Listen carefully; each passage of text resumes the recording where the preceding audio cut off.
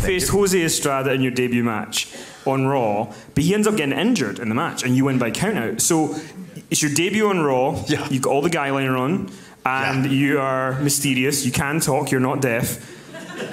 But then your opponent gets injured and you win by countout. Like, how, how were you feeling at that point? Because this is your first one. You're like, I'm, I'm going to nail this, and then something happens, and you kind of. Like, how were you feeling coming out of it? Was were you feeling okay about it in sense of, and how how were they planning to kind of go from there?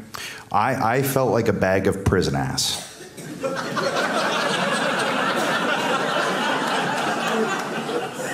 Does that sum it up for everyone? It's probably not a description you've heard before, so feel free to use it. And I apologize for those offended.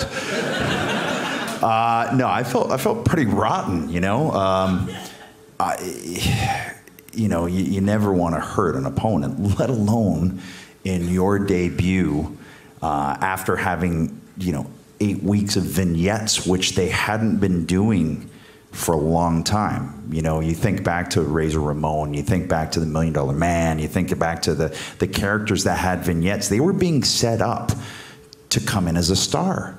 And I knew that's what these vignettes were meant to do, even though it was just me standing on Brooklyn rooftops with some model and running around and hitting people randomly in the streets with a trench coat on. As much as they didn't make sense, I still knew that they were trying to set me up as much as they could. So I go out there.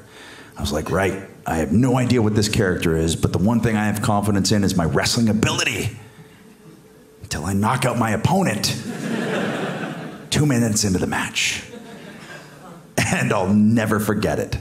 I we, we hit the move and I was like, ooh, back of my leg. Man, that kind of hurt. I looked down, and I'm like, oh, hmm.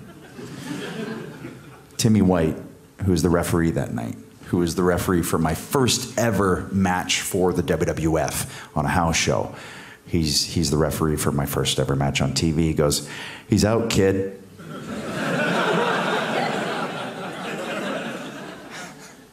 He starts counting. I'm like, Oh, Timmy.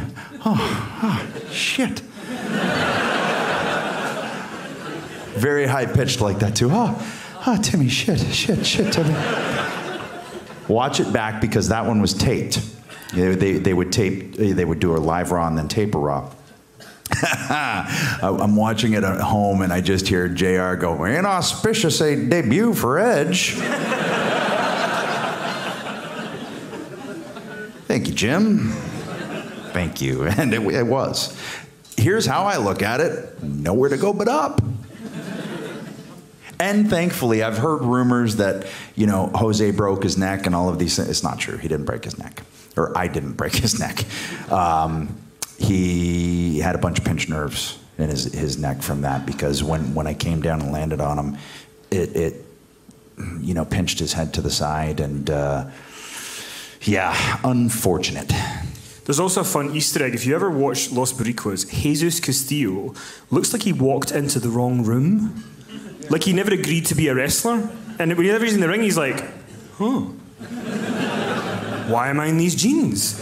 Every time. It- it- and the more you watch it, the more you can see it. I, I and I then I went through the Boricuas like a hot knife through butter. I think like each week after that, I wrestled the Boricuas, and it's like clearly they have no plan for me. They were building you up to Savio. but it never got there. That's the thing. It never even got to like the main Boricua. If only the missed opportunities.